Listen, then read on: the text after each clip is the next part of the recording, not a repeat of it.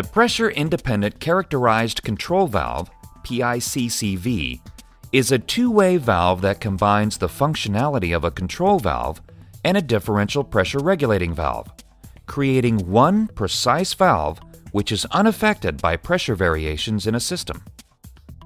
The regulator controls the amount of flow that passes through the valve by the use of a diaphragm that moves according to the changes in pressure over the valve.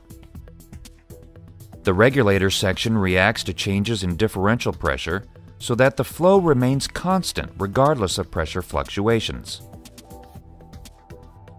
All pressure changes are absorbed by the pressure regulator, allowing the differential pressure to be held constant over the control valve section, thereby giving the same flow.